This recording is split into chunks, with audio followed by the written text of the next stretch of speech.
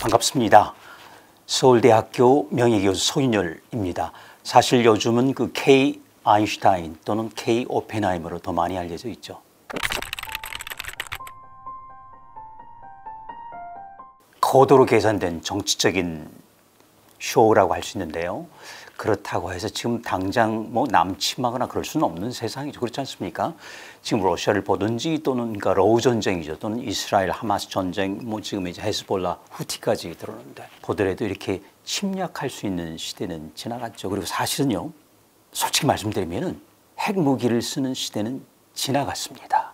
제가 제 책에서 말씀드렸지만 그렇지만은 우리나라는 특히 이제 한반도 정세가 아주 특별하잖아요. 사실은 지구상에 남아 있는 유일한 자본주의 대 사회주의 그리고 또는 공산주의 또는 전체주의, 독재주의 그 경계선이란 말이죠. 지금 현재 남아 있는 유일한 분계선입니다. 그래서 그런 차원에서 할 수 없이 우리가 경우에 따라서는 핵무장까지 고민해야 되는 그런 그 참 어려운 상황에 있습니다.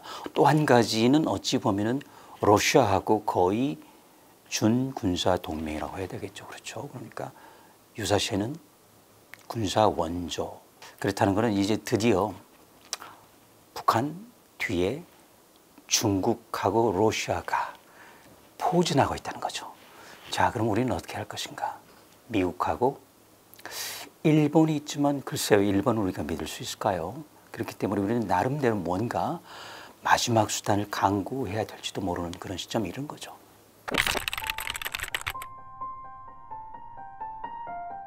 정말 힘들게 가졌죠. 왜냐면요.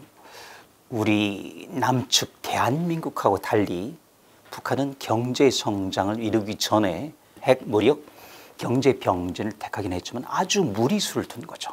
수십만, 경우에 따라서 백만 명 정도가 굶어 죽는 그런 소위 그 춘궁기를 겪으면서까지도 여기를 향해 달려왔는데 우리가 인정할 건 인정해 줘야 됩니다. 짧은 시간이 아니었고요. 한국 동란, 6.25 동란이라고 하죠. 끝난 다음부터 김일성 주석이었습니다. 그 당시에. 그리고 김정일 국방위원장, 그리고 김정은 국무위원장, 물론 이제 총비서죠. 까지 3대에 걸쳐가지고 무려 70년 동안 단 한 치의 머뭇거리지 않고 여태까지 온 거죠. 꾸준히. 그리고 경제가 그렇게 어려움에도 불구하고. 그런데 그때 그, 아, 북한으로서 볼 때는, 우리로 볼 때는 불행이지만 소련이 붕괴했잖아요. 그렇죠? 1991년. 그때가 양자 역학적으로 이렇게 소위 도약할 수 있는 기회가 된 거죠. 그동안 지지부진했었습니다. 근데 그때 그 러시아 과학자들이 상당수 들어오면서 그때 이제 비약적인 발전을 하면서 그리고 파키스탄의 압둘 카디 칸 박사가 그 우라늄 관련해서 많은 도움을 주었고 그리고 이제 그 대신 미사일 기술을 주었고 이런 그 왔다 갔다 하는 소위 바터제로 하면서 2006년에 드디어 핵 실험에 성공합니다. 사실 핵이 오면은 조금 그 엎치락 뒤치락 하는데요. 한반도에서는. 남한이 먼저 갖고 있었습니다. 1953년부터 1991년까지 무려 많을 때는 998기가 남한의 핵무기가 있었어요. 미군 핵무기죠. 그런데 그 당시 이제 노태우 대통령을 기억하는데 그때 이제 전두환 노태우 군사 정권을 유지하기 위해서 미국하고 일종의 협상을 하면서 그 대신 한반도를 비핵화하겠다. 그 당시는 저기 북한에 핵무기가 없었으니까 아직은요. 그리고 이제 우리 남한에 있는 걸 전부 내보내겠다 해서 1991년 12월 말까지 전부 나갔습니다. 김정은은 아직도 나가지 않고 최소한 어딘가 있을 거라고 하는 그 저기 착각을 갖고 있기 때문에 늘 보면은요 남한에도 있다고 하는 거죠. 그렇지만은 없습니다. 단지 일본 모항에 있는 어떤 항공 모함에 또는 저기 핵 잠수함에 핵 전략 잠수함이죠. 그렇죠. 예, 실려 있는 건 있을 수 있습니다. 그렇지만은 남한 영토 내에는 없고요. 남아 있는 게 조금 있습니다. 열화 우라늄탄이라는 게 있어요. 이건 뭐냐면은 대포를 쏘았을 때 보통 그 바수카를 쏘았을 때 그 장갑 차잖아요. 그러니까 일반 대포차는 부딪히면서 끝이 그냥 뭉퉁해져 버섯처럼요. 그렇기 때문에 그때 이제 우라늄이라는 걸 쓰면은 이게 끝까지 뾰족해가지고 뚫고 들어가죠. 그 열화 우라늄탄은 어, 제가 알기로는 아직도 국내에 있는 걸로 알고 있습니다. 그렇지만 그건 핵폭탄 아니죠. 핵폭발하는 건 아니고 뚫고 들어가서 이제 재래식 폭탄이 터지는 거니까. 그래서 일단은 아까 그 어, 주신 질문에 어떻게 갖게 됐느냐 70년 가까운 노력으로 저기 오다가 러시아 과학자의 도움을 받았고 그리고 이제 2017년으로 기억하는데 그렇죠? 6차 핵시험까지 해서 거의 이제 시험은 마쳤다고 보고요. 그리고 이제 전략 배치 또는 실전 배치 단계로 들어갔다고 보시면 돼요. 그러니까 현재 아마도 50기인데 얼마 전에 그 기하급수를 늘리겠다고 하잖아요? 아마도 제가 보기에는 100기 150기가 3년 있으면 이루어지지 않을까. 그때는 정말 위협적이죠.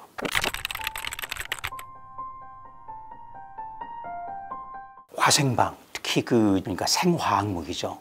탄저균 같은 거 아시잖아요.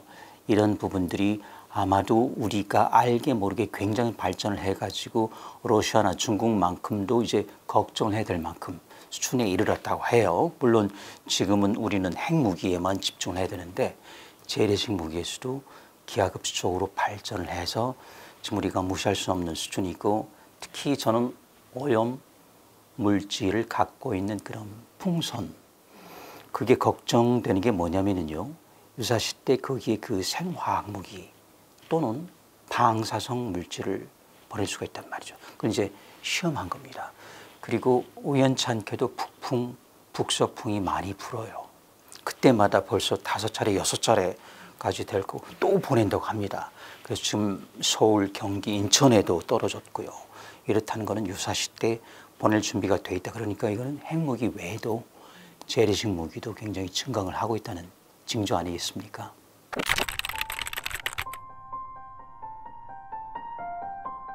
아, 그럴 수밖에 없는 게요. 지금 이제 그 70년 넘게 개발을 하고 있고 핵 시험을 시작한 게 벌써 2006년이 첫 번째잖아요. 그러니까 벌써 이제는 아, 18년 됐다면은 기본적으로 다른 나라들을 볼 때 벌써 결승선을 통과하고 남았을 시점이죠.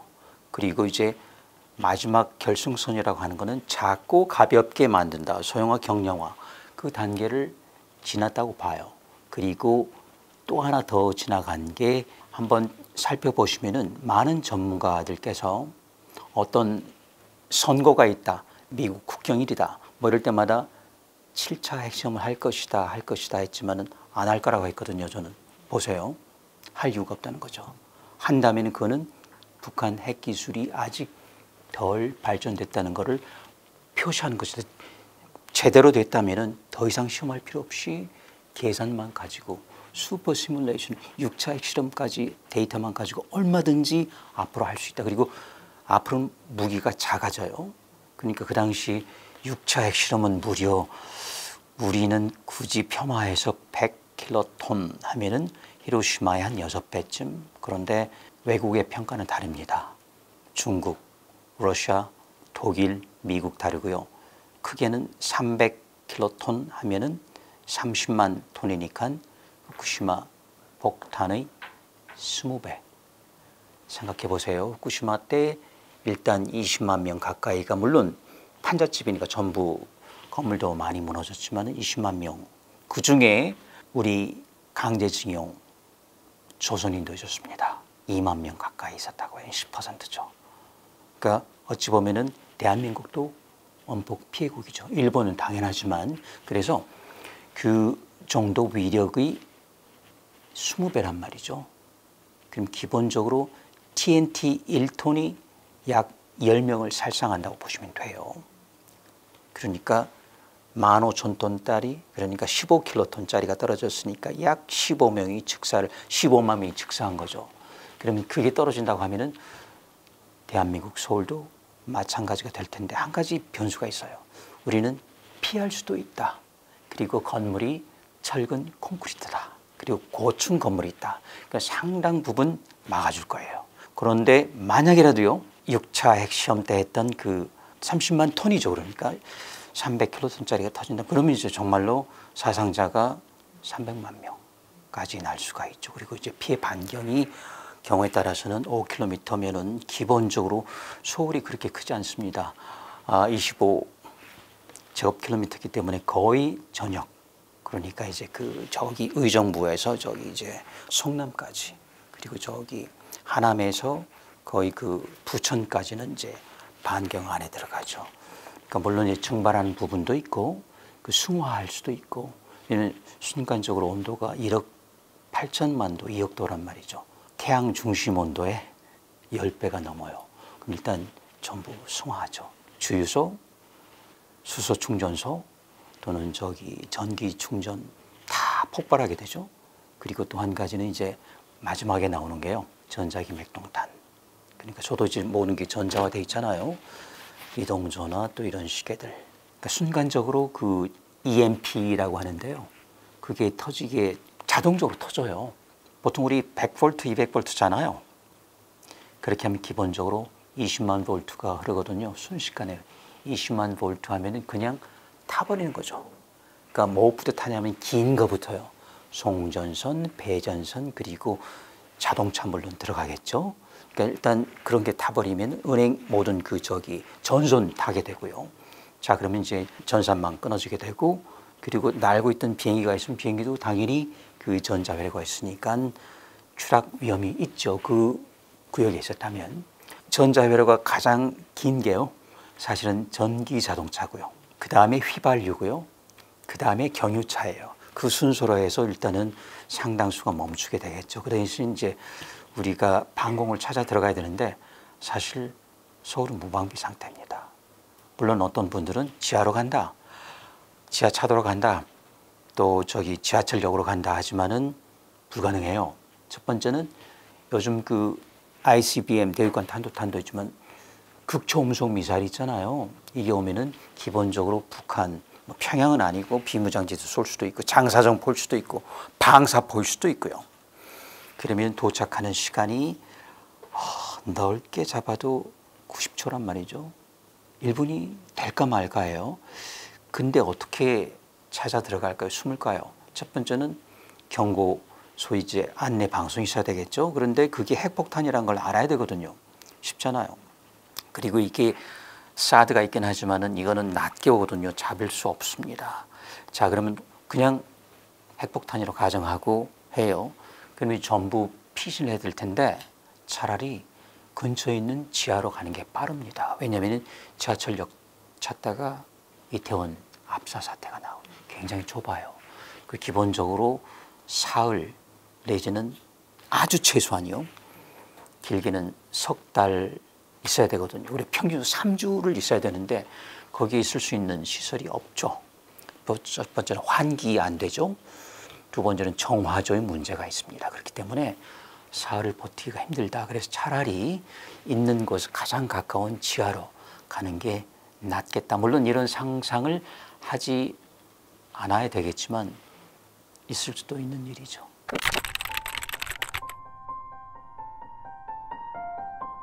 세계적으로 이제 핵은 북한까지 하면 아홉 나라가 갖고 있어요. 물론 1등은 미국이 아니고요.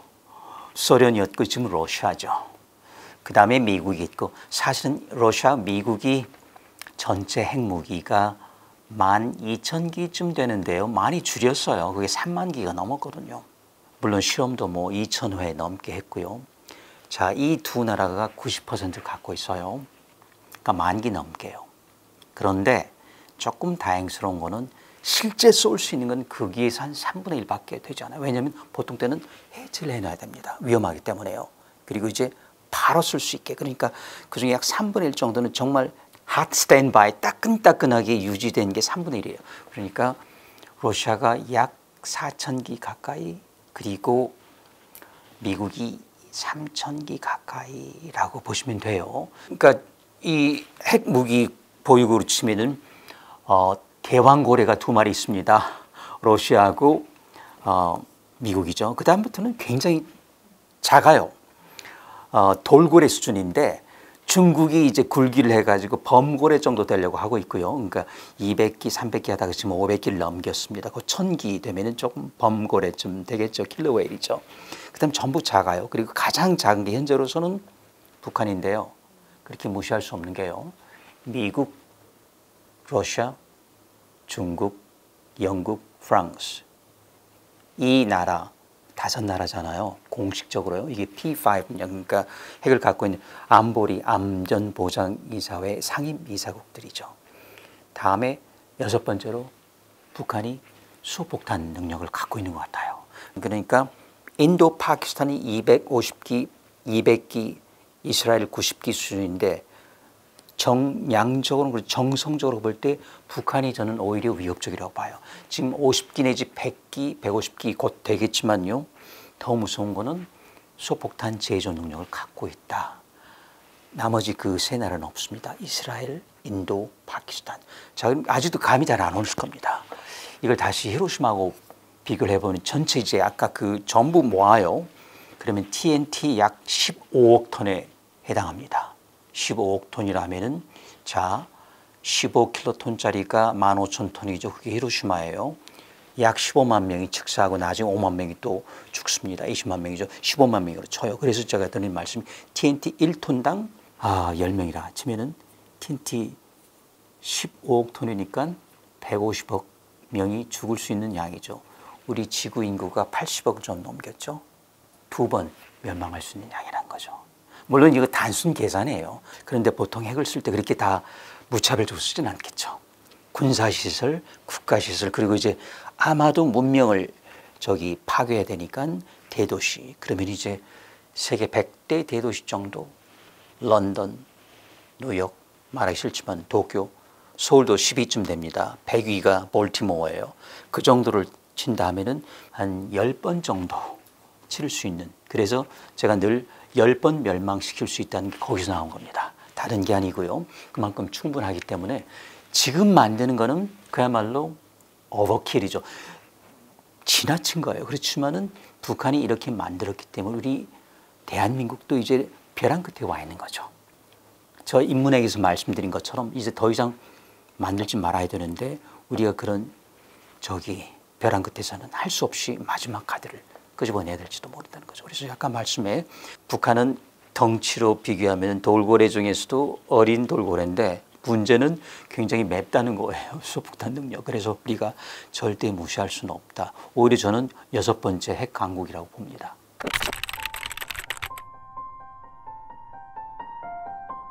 네, 한마디로 하면요. 이제 드디어 신냉전이 구도를 잡았다. 국소련이죠.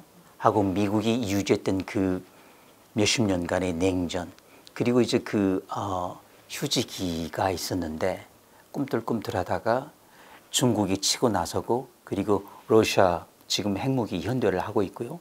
그래서 아까 잠시 말씀드렸지만 그 극초음속 미사일 있잖아요. 그러니까 마하 음속의 다섯 배 이상인데 ICBM은 사실은 스물다섯 배예요. 근데 그게 가능한 게 진공 우주까지 나가니 거기는 저항이 없거든요. 가능해요. 근데 다시 들어와야 되는 문제가 있잖아요. 거기서 이제 북한이 지금 헤매고 있습니다. 들어올 때 열이 나니까 5천 도를 견뎌야 되는데 그게 지금 쉽지가 않거든요. 그런데 그렇지 않아도 되는 게 대기권에서 오면 돼요.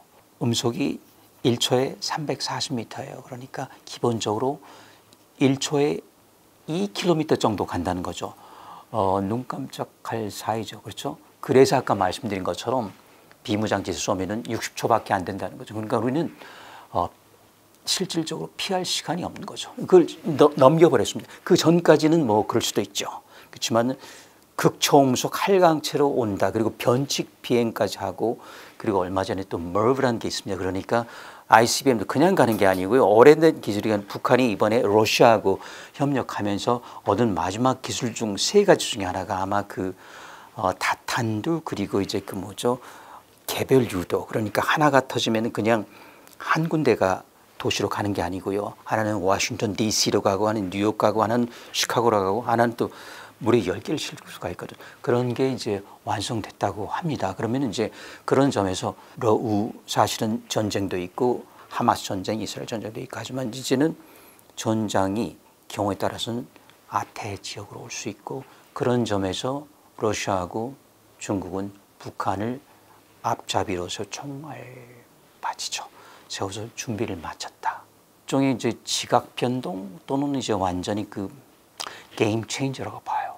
그래서 어떤 분들은 북한이 러시아하고 이렇게 밀착해지면서 중국하고 서 그렇지 않아요. 그건 하나를 보되 둘을 보지 못한 거. 중국은 이미 이미 넘어와 있고요. 그리고 중국하고 관계 아시죠? 아무리 유엔에서 저기 안보리에서 제재하더라도 중국 여태까지 그러니까 그건 기정사실 이제 러시아까지 했기 때문에 자 우리는 그러면 이제 결정을 해야 될 시점에 온 거죠. 그러니까 그만큼 경제적으로도 군사적으로도 그렇고 어, 국제 정세에 지각 변동이 생겼고 그게 애석하게도 한반도에서 일어나고 있다. 근데 그거는 어찌 보면 너무 당연한 귀결인 게요. 아까도 말씀드렸지만 지구상에서 민주주의, 사회주의, 공산주의 또 저기 뭐죠? 자본주의 또 독재가 아, 대체하고 있는 유일한 곳이 한반도입니다. 허리가 잘려 있잖아요. 중국만 하더라도 자본주의 받아들였습니다. 러시아만 하더라도 글라스노스트, 페레스트로이카 그러니까 그 개방 개혁해가지고 자본주의 받아들였어요. 북한만 안 받아들였잖아요. 그래서 어찌 보면 자연한 자연스러운 귀결이기도 한데 왔기 때문에 우리는 이제 그 제2의 냉전 시대로 접어들었다.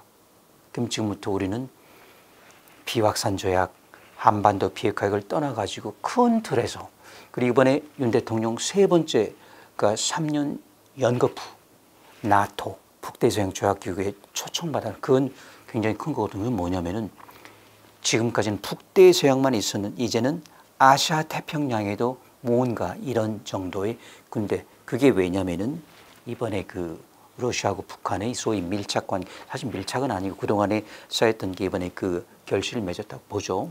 근데 사실 어찌 보면은 한미 동맹보다는 좀 덜해요.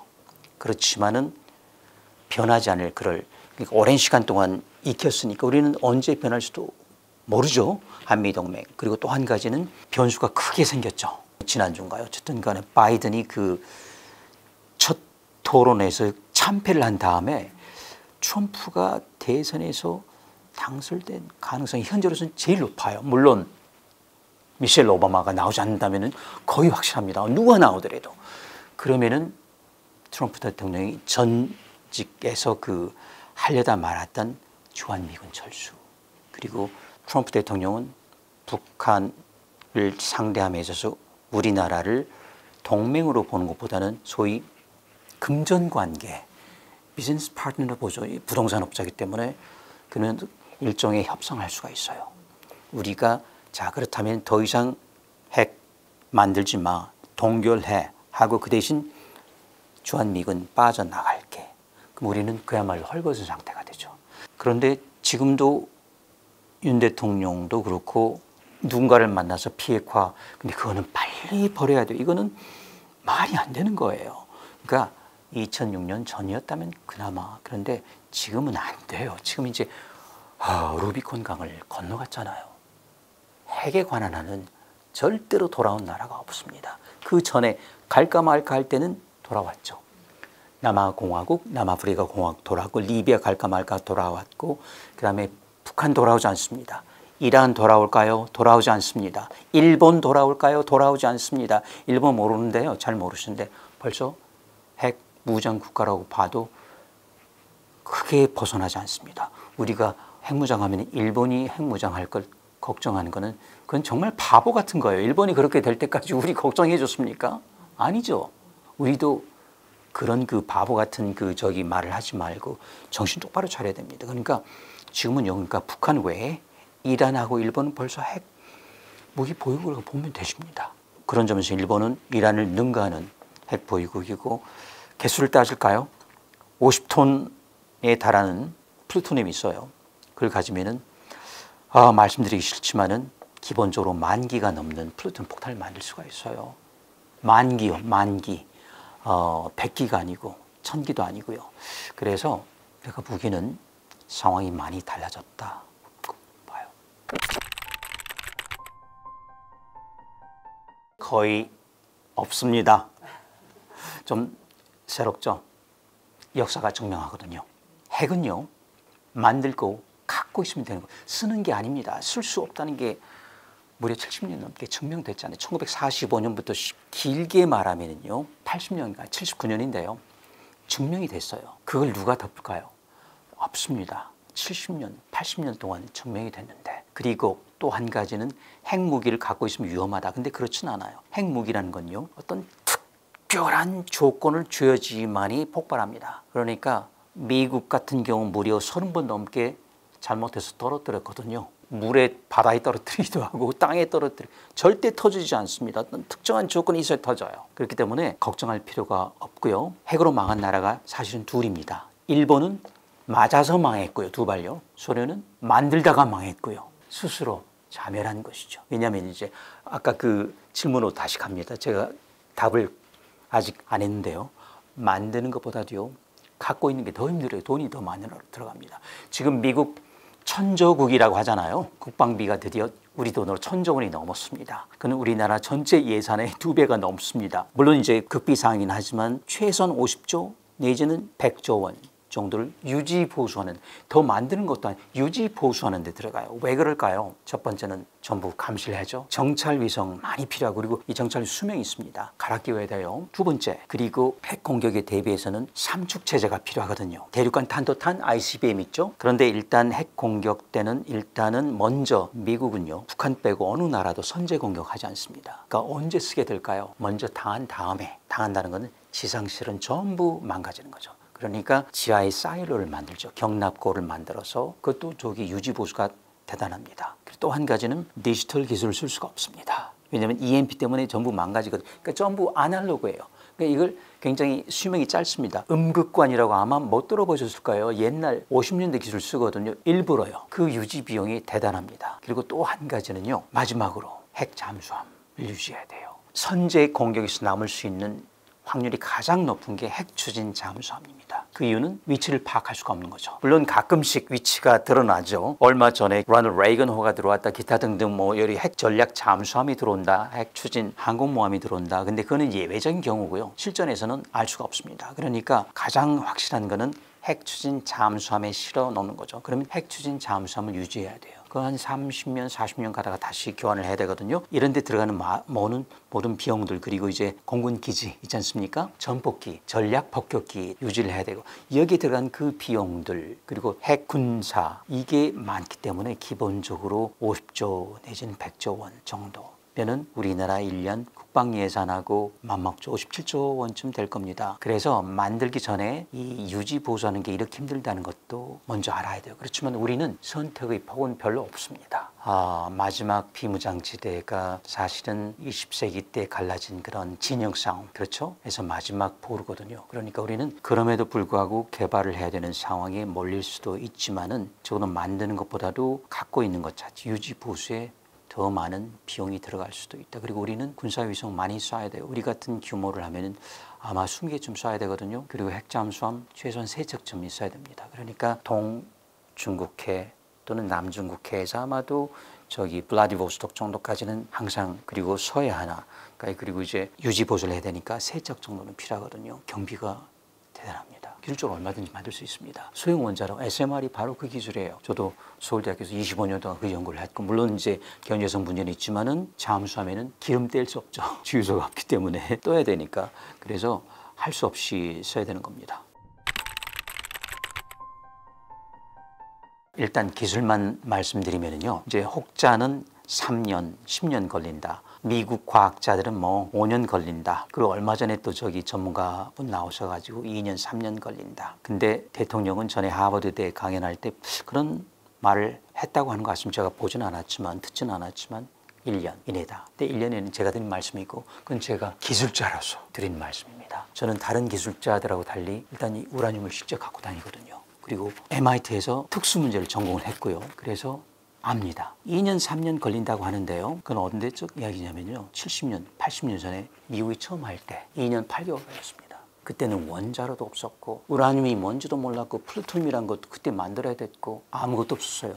재처리 공장도 없었고 농축 시설 버클리 대학의 아주 옛날 가속기 정도 그 시절에 2년 8개월 만에 만들었습니다. 지금은요 우리나라에 원자로가 있지 않습니까? 그리고 울진 원자력 발전소 하늘이죠 포함해서 25개 돌아가고 있고 중수로가 있고 그리고 벌써 나와 있는 사용 해결료 만 톤이 넘어요. 그걸 뽑아내면 기본적으로 우리도 수천 개 만들 수가 있습니다. 2, 3년 걸린다는 말이 맞을까요? 아니면 1년 이내가 맞을까요? 짧게는 8주에 만들 수 있습니다. 지금은 그 말씀드리기 쉽지 않지만은 인공지능이 이제 계속 진화잖아요. 인공지능이 할 수 없는 게 현재까지는 두 가지 있습니다. 핵무기하고 에너지 문제 이 두 가지는 못해요.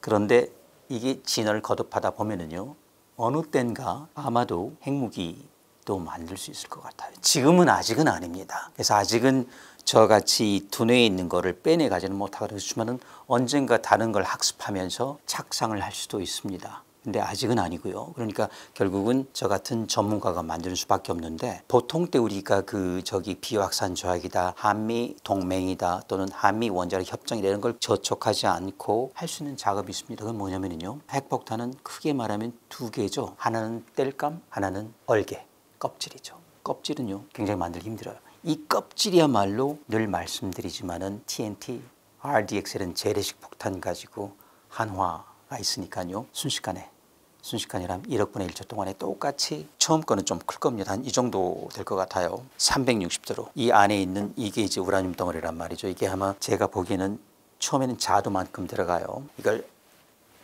360도 각도로 정확히 32군데 정도에서 축구공 보시죠. 육각형, 오각형이 거북이 등처럼 붙어 있잖아요. 이 축구공처럼. 자, 32군데에서 조마를 하면은 이게 쫙 가죠. 안쪽으로 터집니다. 이건 이제 네파라고 하죠. 근데 이게 조금 문제가 있는 게요. 이거는 쫙 가지만은 어떤 거는 이만큼 돌아서 가야 돼요. 왜냐하면 이쪽에서 또 조마가 되니까 이쪽에서 돌아가고 그러니까 이게 이거는 조금 천천히 가야 돼. 이건 조금 빨리 가야 돼요. 이거를 배합을 정확히 하는 걸 이제 폭발 렌즈라고 하거든요. 이거 아무런 저촉 없이 만들 수가 있어요. 이것만 되어 있으면은 그 다음에 넣을 건 땔감 그리고 불쏘시개에 해당하는 중성자 이것만 넣으면 되거든요. 그건 벌써 준비가 되어 있어요. 원자로에서도 쓰고 있고 하기 때문에 이제 집어넣으면 되는 거죠. 그래서 굉장히 빠른 시간. 그래서 이제 1년 이내에 충분히 만들 수 있다. 물론 그게 이제 더 커지고 그 다음에 또 위력이 세지려면 시간이 걸리겠지만 그리고 이제 핵 잠수함까지 만들 때 시간이 걸리겠지만 시제품 만드는 건 분명히 1년 이내이고 정말 짧은 그 소위 디지털 먹값 정도까지는 8주 2, 3개월이면 된다.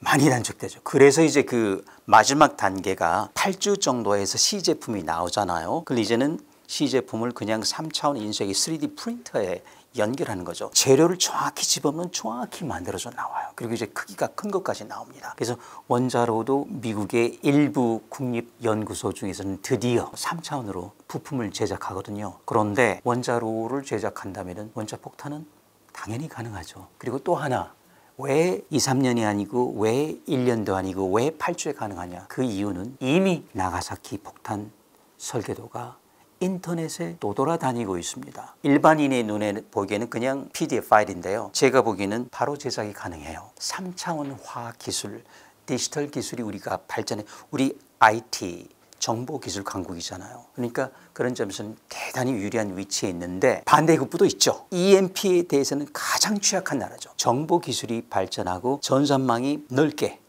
퍼져 있는 나라일수록 EMP 전자기 폭탄에 약하죠. 그래서 그러니까 예를 들어 우리 같은 경우는요. 정확한 위치가 소백산 위에 약 100km 정도에 있으면 고깔처럼 쫙 퍼지거든요. 그럼 거의 휴전선까지 오고 제주도는 아니면 본토가 다 쌓입니다. 거기서 수폭탄 터뜨리면요 전체적으로 전국적으로 전산망, 전력망 다 망가지죠. 근데 그게 상당히 심각합니다.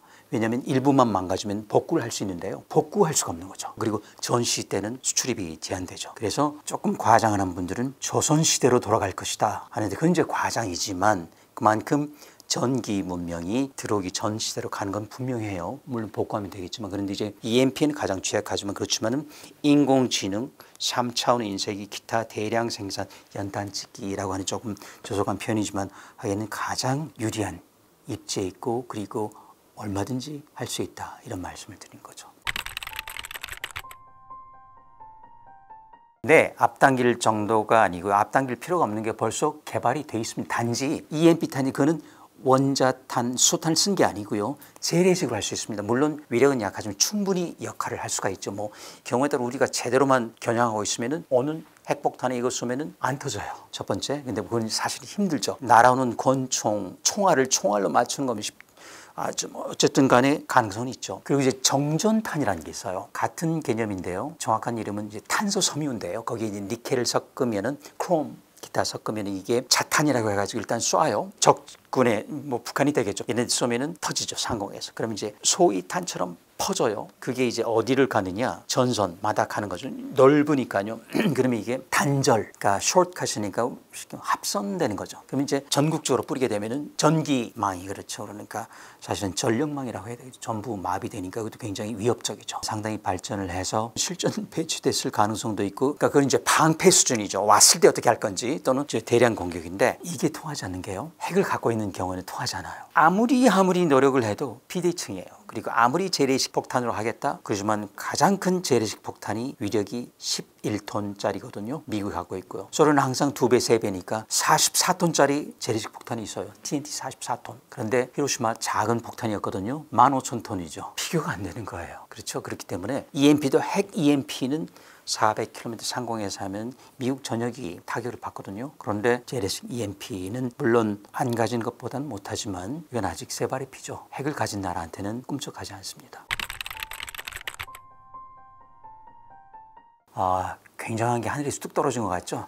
원자로예요. 그리고 미국에서 맨 먼저 만든 게 SMR이고 그게 들어가 있는 게 핵 추진 잠수함이고 핵 추진 항공모함이에요. 그게 이제 밖으로 나온 거기 때문에 벌써 지금 상용을 먼저 만들었습니다. 근데 왜 대형이 됐을까요? 경제성이 없기 때문에요. 그러니까 키워서 경제성을 맞춘 겁니다. 그 당시 경쟁을 해야 되기 때문에 이제는요 화력이 문제가 아니고 그러니까 석탄도 문제가 아니고 가스도 문제가 아니고 석유도 문제가 아니고 재생 가능 에너지하고 경쟁을 해야 되거든요. 태양 풍력하고 그러니까 굉장히 쌓아야 돼요. 그러니까 지금 나온 거는 굉장히 시대착오적인 발상이죠. 그래서 제가 그러는 게 아니고 미국에서도 얼마 전에 보고서가 나왔습니다. 싸지도 않고 안전하지도 않고 그리고 폐기물이 덜 나오지도 않고. 우리가 왜 새로운 원자로를 개발하려고? 첫 번째는 안전해야 되고 싸야 되고 그리고 폐기물 좀 덜 나왔으면. 이 세 가지를 다 맞추지 못한다면 그리고 마지막으로 핵 무기 확산성이 그대로 있다면 전용 가능성이요. 그러면은 중동에서는 당연히 갖고 싶어 하죠. 그래서 저는 왜 이런 말씀드리 제가 25년 동안 서울대학교에서 물론 학생들하고 한 거지만은 이걸 연구했거든요. 러시아도 갖고 자 이걸 물로 하면 이런 문제가 있으니까 증기 폭발하고 후쿠시마처럼 되니까 액체 금속으로 돌릴까 여러 국리 프랑스도 갖고 독일도 갖고 미국도 갖고요. 네. 경제성이 없어요. 그런데 제가 학교를 떠난 지가 이제 3년째 돼 가는데 그동안에 기적이 여러 번 있어 일어났을까요? 그랬다면은 SMR은 희망이 있어. 근데 기적이 일어나지 않은 것 같아요. 제가 안테나가 낮았지 모르죠. 그러면은 이거는 아니에요. 그러니까 경우에 따라서 그러니까 경제성이 문제가 되지 않는 경우가 군사적 목적이 있을 때 우리 같은 경우는 굳이 작은 나라이기 때문에 항공모함 필요 없지만 핵 추진 잠수함은 우리가 보복 공격을 하려면 필요해요. 왜냐면 우리는 땅덩어리 좁기 때문에 아마 지상 그리고 지하 사일로도 살아남기 힘들 겁니다. 그러면 나머지는 그 전복기 벌써 공군 기지 전부 뭐 수원, 오산, 군산 뭐 전부 성주에 있는 사드 기지까지요. 다 망가집니다. 그러니까 마지막에 기댈 때가 잠수함이라서 그렇죠. 그래서 거기에 쓸 수는 있습니다. 그런데 그런 목적이 아니라면 SM을 보세요. 얼마나 그 저기 즉흥적인지 보세요. 얼마 전에 그 뭐 저기 뉴스케리 만든 보이저라고 하는 여섯 기가 들어온다. 갑자기 그게 떴더라고요. 너무 놀랐는데 경주, 간포 또 울진 왔다 갔다가 사라지고요. 그다음에 경주 산단 이야기 또 얼마 전에 대구 군비 마구 돌아다녀. 이건 뭐냐면 그냥 툭툭 던져보는 거예요. 그러면서 예산 확보를 하는 거죠. SMR 개발하기 위한. 그런데 저는 옳지 않다고 봅니다. 왜냐하면 벌써 경제성이 없다는 게 증명이 됐는데요. 그리고 많은 그 양심 있는 미국 핵 과학자, 특히 양심 있는 맥팔레인이라고 하는 핵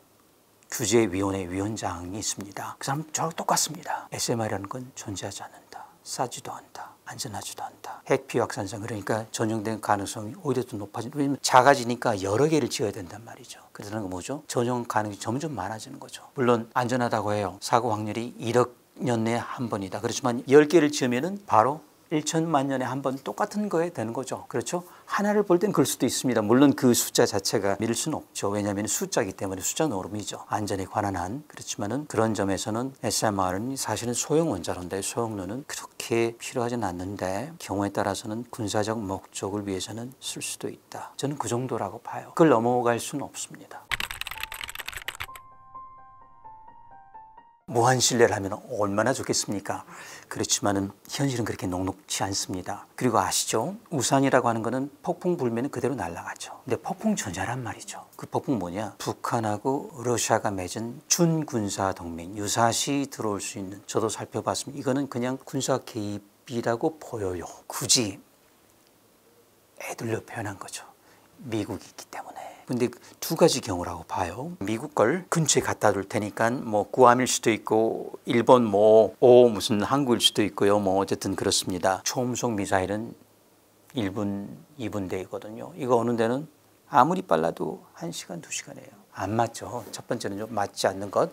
그 다음에 두 번째는요, 어떻게 되느냐면요. 참 이런 말씀 드리기 쉽지 않은데, 만약에 정권이 바뀐다면은 우리 생각보다 훨씬 더 핵우산이 접힐 수도 있죠. 핵우산이 접히는 시점은 언제냐면은 이제 주한미군 철수죠. 그때 두 가지 길이 있어요. 이걸 핵우산을 접는 대신에 핵 공유로 들어간다. 그러니까 나토식이죠. 또는 뭐 저기 아태.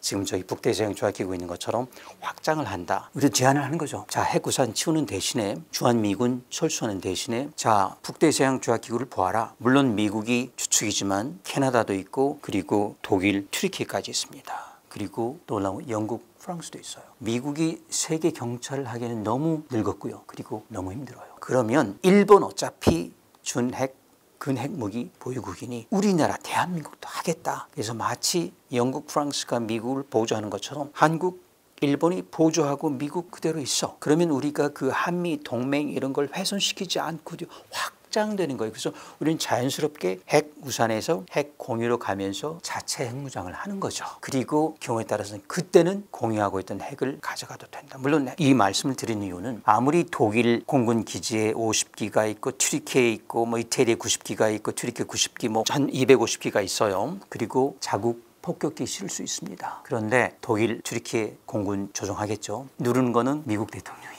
독일 공군, 튀르키 공군 아닙니다. 결국 우리도 미국 대통령이 국방부 장관, 전략사령관, 합참의장 이렇게 해서 결정하고 그리고 이제 공군 조종사가 미국 조종사가 설령 우리 대한민국 전략 폭격기에 들어가 있더라도 또는 사일로에 들어가 있더라도 그렇게 누른 거라서 결국 뭐죠? 핵 공유는 무늬만 공유지 공유가 안 된다는 거죠. 핵은 절대로 절대로 나눠 가질 수가 없는 겁니다. 그래서 지금부터 자체 핵무장을 심각하게 생각해 봐야 되고 그리고 미국하고 그 불협화음 내지 아니면서 얼마든지 이런 그 소위 천위 과정을 거칠 수 있다 이렇게 거죠.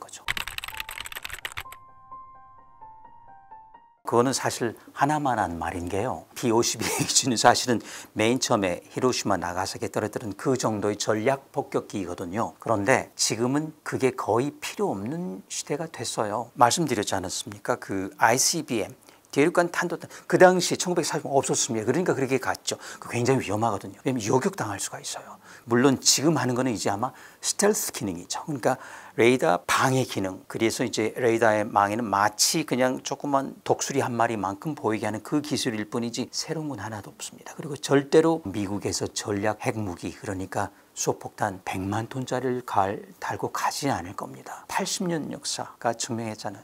가잖아요. 그건 뭐냐면은 이제 세계 3차 대전이라는 거죠. 아닙니다. 일어나지 않아요. 서로 핵무기를 갖다 보니까 이제 아홉 나라 됐잖아요. 아직도 유효한 거는 그 전술 중에 MAT죠. 상호 확증 파괴. 미쳤다고 하죠. MAD. Mutually Assured Destruction. 네가 쏴? 나도 쏠 거야. 너도 나도 다 죽는 거. 누가 쏠까요? 푸틴 쏠까요? 물론 지금 벨라루스 가서 뭐 훈련하고 잔뜩 하죠. 국경 근처에서 뭐 저기 못 쏩니다. 쏠리면 진작 쐈죠.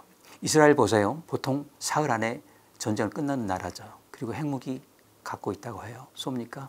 못 쏘잖아요. 그 하마스, 이제 헤즈볼라에다 후티 반국, 이제 이란이 들썩들썩 하잖아요. 이란이 못 쏜다는 걸 알기 때문에. 그렇기 때문에 저는 그런 일이 일어날 거라고 보지는 않지만 어쨌든 간에 그건 뭐냐면 단순합니다. 정치 외교적인 어떤 몸짓이죠. 제스처. 그래, 신냉전 체제. 우리도 준비할게. 그건 할 수 없이 힘의 균형을 취한 겁니다. 그래서 그렇게 되면 우리가 굳이 비확산 체제의 탈퇴 또는 그 한미 동맹 와해 주한미군 철수 이런 거 걱정하지 않고 자연스럽게 자연스럽게 미국과 합의하에서 결정하기 때문에 우리가 무슨 무역 제재, 경제 제재 걱정할 일도 없고 우리는 꾸준히 그동안에 인공지능 그리고 4차, 5차 산업혁명 그리고 정보기술 발전시키고 하면서 우리 지금 보세요. 세계 10위 경제 대국이죠. 이제는 다섯 번째 정도로 올라가야 되지 않겠습니까? 그래서 저는 크게 걱정 않습니다. 저절로 해결될 것이고 지금 막 저기 전쟁이 일어나거나 그렇지 않습니다. 물론 미국 쇼에서는 그렇게 하는데 그건 그 사람들 하는 그 저기 수법이에요. 그래야지 미국이 정신 차리니까 거기까지예요. 당장 한번 전쟁 저는 그렇게 보지 않습니다. 일단 예상을 해서 뭐 각본 중에서 우리의 불리한 걸 한다면은 이제 그 동맹보다는 예를 들어서 어떤 그 금전적인 관계로 해결을 하고 싶다 하면은 핵 비핵화는 안 되는 거고요. 그거는 저기 더 이상 그 비핵화는 그 자체가 너무 그 저기 측은해요. 그 말은 하지 않는 게 좋아요. 되지 않을 건데요. 그래서 우리 그 위상을 확실할 때가 됐습니다. 왜 자꾸 나토에서 부를까요? 우리 북대서양 조약기구 우리하고 무슨 상관이 있어요? 왜 부를까요? 우크라이나. 그 대신 유사시 때 북대서양 조약기구도 거들어줄게. 그거죠. 그래서 러시아 관계 정리해. 중국 관계 정리해. 그리고 군사 원조해. 살상 무기 뭐 군사 원조는 살상 무기죠. 비살상 무기는 되고 살상 무기는 안 된다.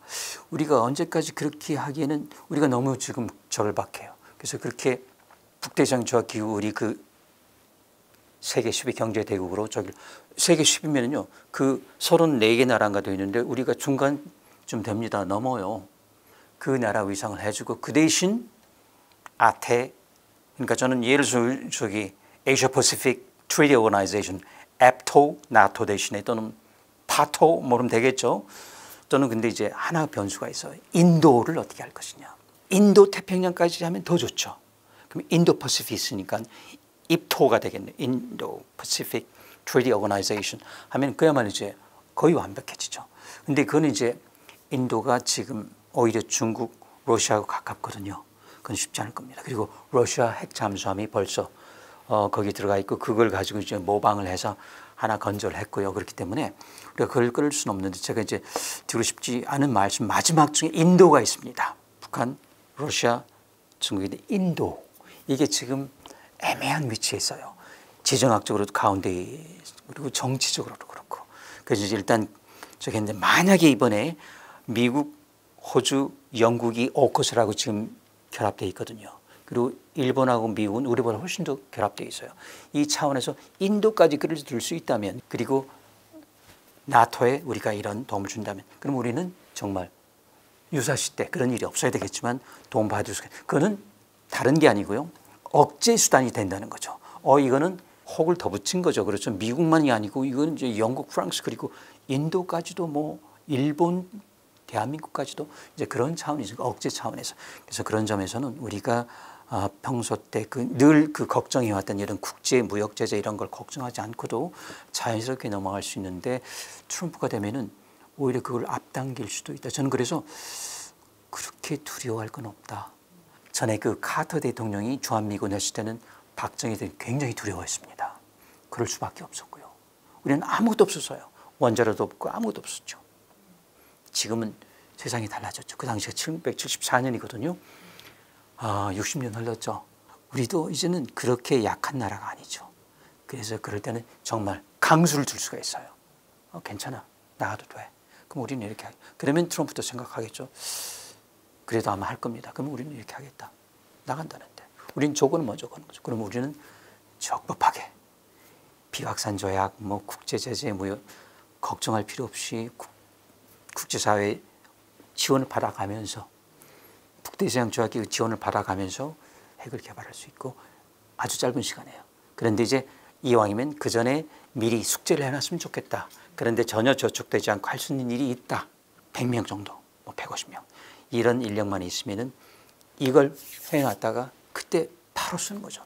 그럼 그나마 더 짧은 시간인데 그래서 이제 저는 그 주한미군 철수를 그렇게 걱정하지 않아도 되고 트럼프가 재선되는 것을 그렇게 걱정하지 않아도 되고 오히려 맞을 매는 일찍 맞는 게 좋잖아요. 지금은요, 어, 한 나라에 또는 한 반도에 3차 대전이 우려되는 상황. 이거는 그 차원이 다른 겁니다. 핵 비확산 약속했는데, 한반도 비핵화 약속했는데, 그는 평화로울 때. 그런데 정말 평화를 원하잖아요. 그러면 전쟁에 대비를 해야 되는 겁니다. 이건 로마의 격언이에요. 이건 뭐, 뭐 동서고음을 통해서 평화를 원하면은 전쟁에 대비해야 됩니다. 일찌감치요. 자꾸 연명하는 정도의 평화. 미국이 기대고 오, 우리 핵 가지면은 안 돼. 물론 그렇죠. 미국 핵이 들어오면 저기 기지가 된다. 아니죠. 제가 보기에는요. 대도시 에쓸걸 거기다 먼저 쓸걸요. 오히려 저는 우리 국민에겐 더 좋다고 봐요. 지금 그게 없기 때문에 뭐 군산, 오산, 수원, 뭐 성주 이렇게 말씀드렸는데 그 다음에 어디 때릴까요? 우리나라 6대 도시 있잖아요. 거기에 갈 게 군사기지로 가지 않겠습니까? 흩어져. 아, 그, 그리고 기본적으로 흩어져 놔야 됩니다. 그래서 그런 점에서는 그런 분들의 그 논리가 물론 맞죠. 그렇지만 좀 궁해 보여요. 우리 무역 제재 때문에 안 돼. 우리 무너져. 그렇지만 저는 한술 더 떠서 인도, 파키스탄도 그렇게 쉽게 풀려나는데 6개월, 1년 만에 풀어나요. 근데 우리나라는요, 솔직히 말씀드려요. 삼성전자 기술이 없으면 애플 아이폰 시창 디스플레이 어떻게 만들죠? 구글 어떻게 하죠? 이렇게 얽혀 있기 때문에 먼저 어, 구실만 잘 제공해 주면 그냥 술술 풀리게 되기 때문에 그리고 어떤 분들은 원전 돌아가지 않는다. 아니요. 현재 3년 내지 5년 돌아갈 수 있는 핵 연료가 쌓여 있습니다. 3년, 5년 걸릴까요? 아닙니다. 석 달, 다섯 달 당. 그러니까 원자력 발전소 못해? 아, 그럼 태양광 하면 되죠. 가스 돌리면 되고요. 그렇잖아요. 우리 국민께서 판단해야 되는데요. 자, 그러면은 그 걱정 때문에 우리가 핵을 영 이제 차치하고 갖지 못할 것이냐 아니면은 있을 수도 있는 적화 통일에 대비될 거냐 두 개를 하는 거죠. 저는 적화 통일이 더 두려울 것 같아요. 그러지 않아야 되겠지만 우리가 갖지 않은 상태에서는 만에 하나 있을 수가 있죠. 일단 주한미군 철수하면 그냥 핵무기 쓸 필요 없어 그냥 밀고 내리면 돼요. 어물탄 들고 내려오면 됩니다. 근데 핵이 있으면 못 올 거라고요. 우리 핵이 있으면은요. 그래서 이제 그런 점에서는 우리 국민께서 그리고 우리 구독자께서 한번 생각하시면 돼요. 너무 간단해요. 적화 통일이 무섭냐? 무역 제재가 두렵냐? 저는 그거라고 봐요. 간단해요. 중국이 러시아보다 대국입니다. 그렇죠? 근데 딱 하나 미국이 중국을 조금 어찌 보면은 요즘 그 무역 전쟁 중이잖아요. 그렇죠? 러시아하고는 그렇게 못합니다. 그게 뭘까요? 핵무기가 없다는 거죠. 그리고 아까 대왕고래 두 마리가 있다 그랬죠. 러시아하고 미국입니다. 중국이 돌고래에서 겨우 이제 범고래 정도 됐거든요. 천기가 된다 치더라도 아직도 조족지혈 세발에 피해요. 그리고 경제 지금 굉장히 힘들거든요. 사실은요. 지금 미국하고 경제 전쟁이라서 이 상태에서는 기하급수로 늘리는 게 쉽지 않습니다. 플루토늄하고 우라늄을 확보를 해야 되는데요. 그게 첫 번째 쉽지 않고요. 그리고 솔직히 말해서요. 가성비 문제예요. 투자했을 때 얼마만큼이 효용이 있느냐. 비용 대비 효과인데요. 어, 20세기 때하고 21세기 인공지능 지금은 어, 판단 기준이 달라졌어요. 부가가치가 굉장히 떨어집니다. 그랬을 때 아마 제가 그 시진핑 주석이라면은 판단을 해야 될 공학도거든요. 그러니까 아마 할 거라고 보는데요. 저는 의미가 없어요. 그러니까 이거는 단지 만약에 5천 기 간다. 그러면 이제 추가 달라져요. 좀 이해가 안 됩니다. 지금 와서 그래야 될 이유가 뭘까요?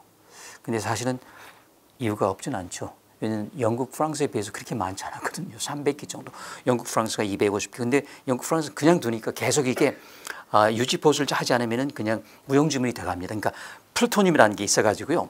이게 그냥 두면은 플루토늄 239가 좋은 건데 자꾸 240이 돼버려요. 그러니까 중성자가 여기도 지금 왔다 갔다 제 몸도 통하고 그러거든요. 그럼 240 이게 불발탄이 돼요. 그래서 이거를 다시 갈아 끼워줘야 돼요. 그러니까 점점 두면 둘수록 북한도요 점점 그대로 두면 둘수록 효력이 떨어져요. 그러니까 7차 핵시험 한다고 만약에 뒀다면 그때는 이제는 못쓸 만큼 효력이 떨어졌어요. 그러니까 아, 순도가 떨어진 거죠. 그렇기 때문에 유일하게 이제 중국이 뛰쳐나오는 거죠. 저기 유지 보수를 하면서 그렇지만 그렇게 위협적인 것도 아니고 그리고 어떤 그 뭔가 세계적인 균형을 뭐 저기 깨뜨린 것도 아니고 단지 그보다 더 큰 거는 신냉전 체제가 이제 자리 잡았고 그 차원에서 하는 것 아닐까 하는 생각이 듭니다. 어쨌든 역사적으로 볼 때는 두 번이고요. 그게 처음이자 마지막 이거 앞으로 그럴 거지만 그래서 이제 그 우리가 실제 피해 상황을 보는 거는 두 군데밖에 없습니다. 그리고 32번 정도 미국과 러시아가 실수한 게 있어요. 그러니까 대부분은 폭격기가 싣고 가다가 훈련용으로 실제 폭탄을 싣고 가다가 자국 내에서 터뜨린 것도 있고 스페인에서 터뜨린 것도 있고 아이슬란드 터 여러 군데에서 터뜨린 그리고 바다 위에서 터뜨린 것 저기 떨어뜨린 것도 있고요. 그런데 단 한 번도 터지진 않았습니다. 단지 구멍이 파이긴 했지만 핵폭발이 일어나지는 않았죠. 그 이유는 아, 다시 말씀 360도 입체각으로 1억 분의 1초 동안에 똑같이 이 자목만한데 충격파가 도달하지 않으면 절대 터지지 않습니다. 보통 때 터지지 않게 미임계라고 하고 그 상태로 유지되기 때문에 옆에서 터지더라도 그리고 불규칙하게 터지면은 그러면 터지면은 이건 빨리 오고 이건 나중에 오겠죠. 그러면 안 터져요. 이게 똑같은 구를 유지해 줘야 되거든요. 이렇게 어, 들쑥날쑥 혹이 나면 안 터지거든요. 그렇기 때문에 자체 안전장치가 있는 거라고 보시면 돼요. 그래서 어, 두 번이 전부였는데 어, 피해 상황을 다시 보면은요. 즉사자가 15만에서 20만 명까지 보면 돼요. 히로시마 때. 그리고 나가사키는 조금 시에서 벗어나 있었거든요. 그리고 원래는 고쿠라로 가려다가 나이, 날씨가 안 좋아가지고 거기로 갔었거든요. 그러니까 바꾸는 바람에 그리고 이제 연료는 떨어져가지고 그냥 시끄면 대충 떨어뜨린 거죠. 근데 그것도 터졌어요. 그래서 거기는 7만 명, 10만 그러니까 명 정도 보시면 돼요. 두 도시를 합하면 30만 명인데 대개는 이제 승화라고 하면 증발을 떠난 승화. 왜냐하면 1억 8천만 도에서 100만 도면은 그냥 증발을 넘어서요. 그냥 어 그냥 승화하는 거죠. 그냥 순식간에요. 아 뜨거워, 밝아 이게 뭐야 하고 인식하기 전에 어, 끊어지기 때문에요.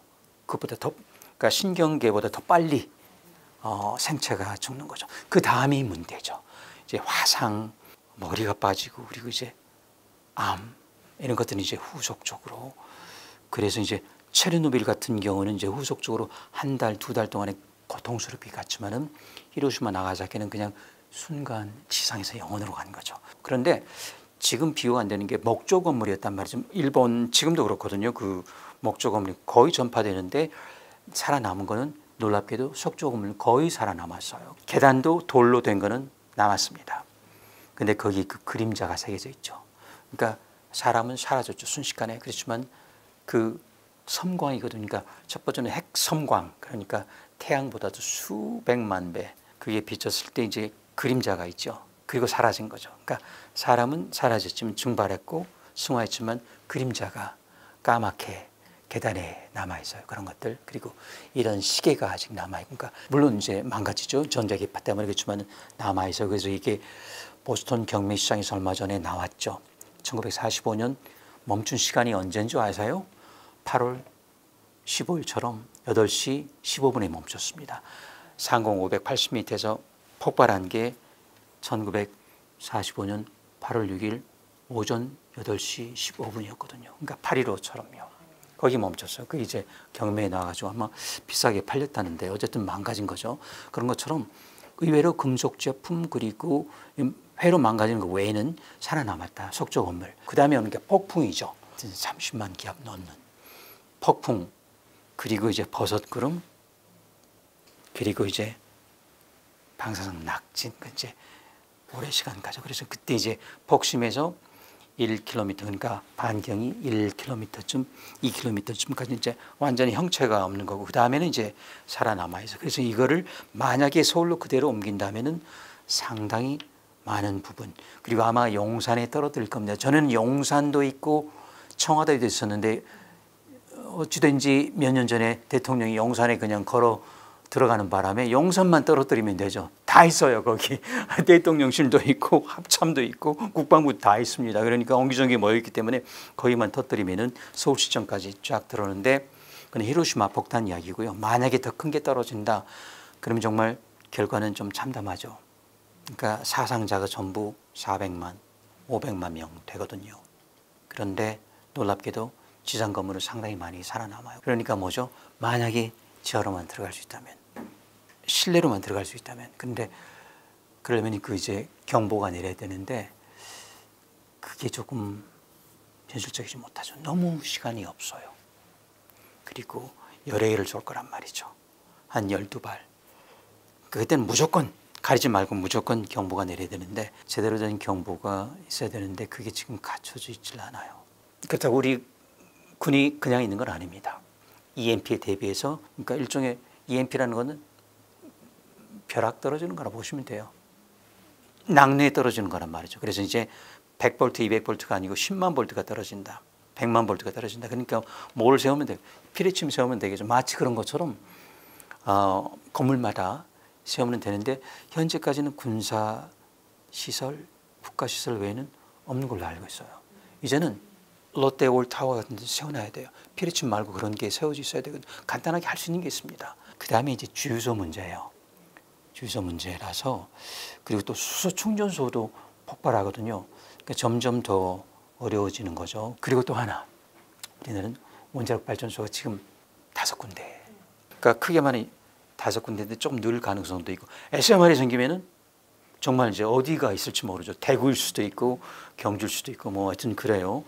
그러니까 그런 점에서 우리는 우리나라는 절대 그 원자로를 더 이상 지으면은 안 된다. 왜냐면 그런 가능성이 있는 유일한 나라거든요. 다른 나라는 그렇지 않아요.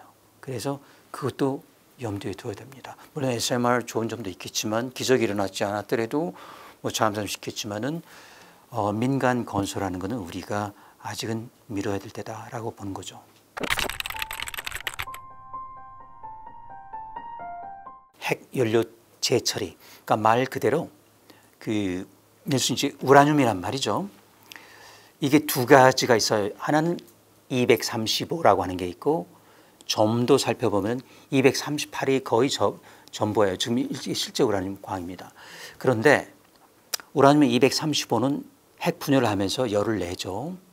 근데 238은 웬만해서는 분열하지 않고 그 대신 아, 핵 분열시킬 때 저기 성냥불로 하는 게 아니고 중성자로 하거든요.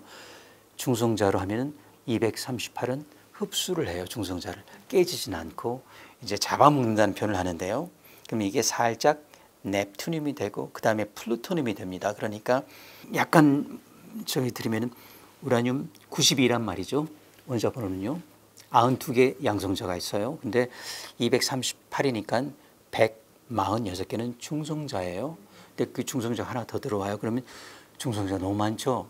그러면 이 중성자 중에 하나가 양성자로 바뀔 수 있습니다. 왜냐하면 중성자는 음양이 함께 있다고 볼 수 있어요. 그래서 음이 나가면 돼요. 전자. 베타선이에요. 방사선 나가면 이게 양성자. 그러면 번호가 93번이 되죠. 양성자 93개가 넵투늄. 근데 또 하나가 나가요. 아직 많아. 그러면 양성자가 94개 되죠. 그럼 이게 94번 플루토늄이 돼요. 플루토늄 239. 이거는 기가 막힌 핵분열을 하죠. 그래서 우라늄 235 농축을 하든지 플루토늄 239를 빼내든지 그럼 이거는 어디서 나올까요? 그냥 나오진 않고요. 일단 원자로에 들어가서 나와야 돼요. 그래서 일본 같은 경우에 그걸 벌써 50톤을 빼서 영국, 프랑스 자국에 있고요. 지금 이제 로카수촌에 있는 게 올해부터 돌아가거든요. 그럼 1년에 8톤씩 플루토늄 빼내는 거예요. 그러니까 거기서 왜 빼죠? 원자로 없거든요. 안 짓고 있거든요. 그럼 왜 뺄까요? 아마도 핵폭탄을 만들려고 하지 않을까요? 그렇죠? 그러니까 우리나라도 빼야 된다는 거죠. 우리나라도 만 톤쯤 있어요.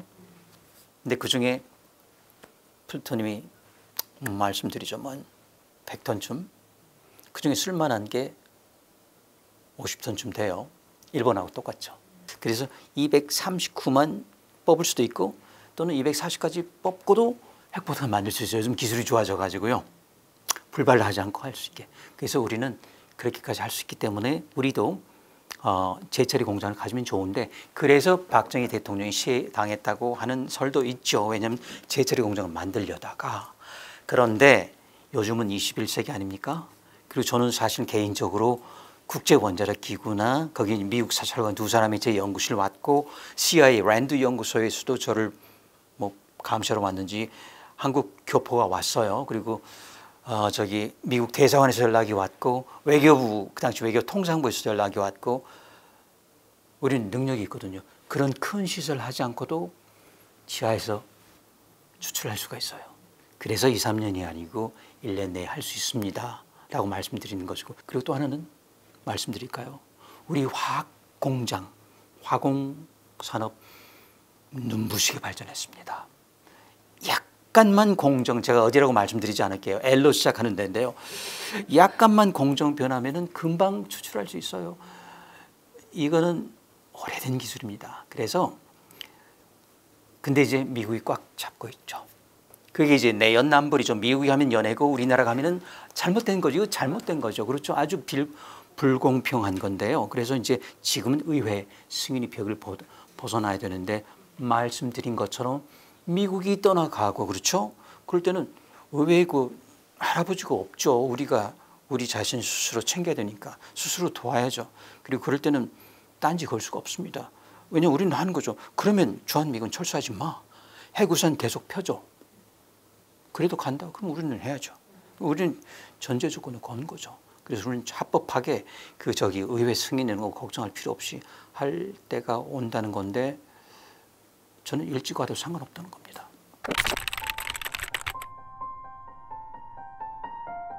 이 핵이라는 거에 대해서 너무 필요 이상으로 걱정할 수는 없습니다.